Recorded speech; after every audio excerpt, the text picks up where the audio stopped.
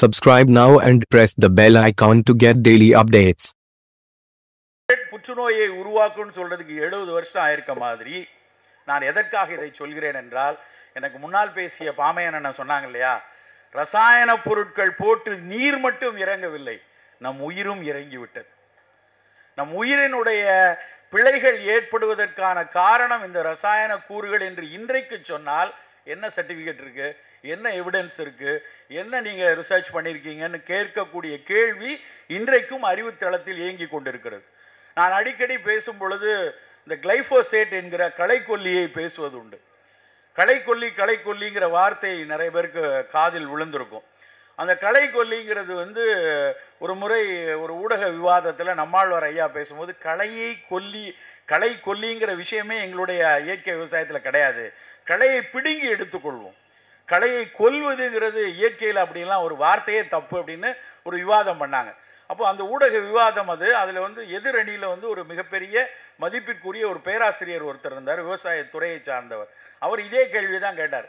நீங்கள் எப்படி களைக்கொல்லினால நோய் வரும்னு சொல்கிறீங்க இல்லை இதெல்லாம் வந்து எவ்வளோ ஆராய்ச்சி பண்ணி வந்திருக்கு தெரியுமா? ஏதாவது ஒரு பேப்பர் பப்ளிஷ்டு இருக்கா? இது மாதிரி களைக்கொல்லி புற்றுநோயை உண்டாக்கும் களைக்கொல்லி ஏதாவது வருமான்னு. இது நடந்தது ரெண்டாயிரத்தி ஏழில். அப்போ வந்து ரொம்ப ஒரு பெரிய விவாதம் நடந்தது. உடனே அவர் தீர்ப்பாக சொல்கிறார் இது மாதிரி தேவையில்லாத பயத்தையும் சர்ச்சைகளையும் உண்டாக்குறது வந்து தவறு. ஏதாவது அப்படிலாம் இருக்குன்னா முறையாக ஆராய்ச்சி நடக்கணும். அப்படிலாம் நடக்காமல் சொல்லக்கூடாது அப்படின்னு சொல்லிட்டு கலைக்கொல்லி ரொம்ப ஒன்றும் பிரச்சனை இல்லை அப்படின்னாரு. கடந்த வருஷம். போன மே மாதம். இதே எப்படி திருநெல்வேலி மாவட்டத்தில் வந்துச்சோ அதே சமயத்தில் மே மாதத்தில் பிரிட்டிஷ் மெடிக்கல் ஜேர்னல் அப்படின்னு ஒரு இது இருக்கு. அவங்க வந்து ஒரு அறிக்கையை வெளியிடுறாங்க.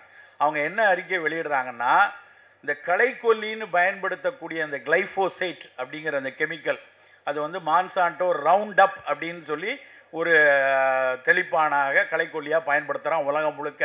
அவன் என்ன சொன்னான் அப்படின்னா இந்த கிளைஃபோசேட்டை பயன்படுத்தினால் புற்றுநோய் வருவதற்கான ஆபத்து மிகப்பெரிய அளவில் இருக்கிறது அப்படின்னு புற்றுநோய்க்கான காரணிகளில் ப்ராபபிள் பாசிபிள் கார்சினோஜன்கிற பட்டியலில் இந்த எப்படி டயாக்சின் இருக்கோ எப்படி சிகரெட்டில் இருக்கக்கூடிய நிக்கோட்டின் இருக்கிறதோ அந்த இடத்தில் கிளைஃபோசேட்டை சேர்த்துட்டாங்க.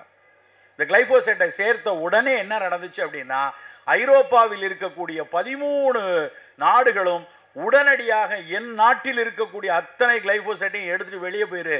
மான்சாட்டோவை நெருக்கி அது உடனடியாக தடையும் செய்து அந்த நாட்டில் ஸ்டாக்ல இருந்து அவ்வளத்தையும் எடுத்துட்டு போயிருந்தாங்க அது ஆனால் அது நடந்து ஒன்றரை ஒன்றே முக்கால் வருஷம் ஆக போகுது. இன்றைக்கு வரைக்கும் எனக்கு நன்றாக தெரியும் இந்த திருநெல்வேலி மாவட்டத்தில் பக்கத்தில் எங்கே போனாலும் நம்ம கிளைஃபோசேட்டை வாங்க முடியும். நம்ம ஊரில் இன்றைக்கும் அது விற்பனை செய்யப்பட்டு கொண்டு தான் இருக்கிறது. இன்றைக்கும் இது குறித்த சர்ச்சைகளும் விவாதங்களும் நடந்து கொண்டே இருக்கிறது. இன்றைக்கும் இதை விவாதிக்கக்கூடிய நபர்கள் அதெல்லாம் இன்னும் ஃபுல் ப்ரூஃபாக வரல. அதெல்லாம் இன்னும் ப்ராபபிள் பாசிபிள் தானே ஒழிய இன்னும் முழுமையாக சாகடிக்கலை. அப்படிங்கிற சர்ச்சையை சொல்லக்கூடிய நபர்கள் இருக்கிறார்கள். நண்பர்களை நாம் ரொம்ப ரொம்ப எச்சரிக்கையாக இருக்க வேண்டிய காலம். இந்த சர்ச்சைக்கு பின்னாடி அத்தனையும் வணிகம் இருக்கிறது நண்பர்கள்.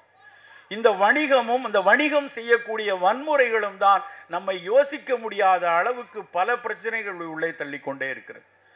இந்த வணிகத்தை இந்த வணிக வன்முறைகளை நுட்பமாக கவனிக்க முடியாத அளவில் நாம் வேறு வேறு அழுத்தங்களில் இருக்கிறோம். துரித உணவுக்கு பின்னாடி ஓடுவதற்கு பின்னாடி நிறைய அழுத்தங்கள் நமக்குள்ள இருக்கு. நமக்கு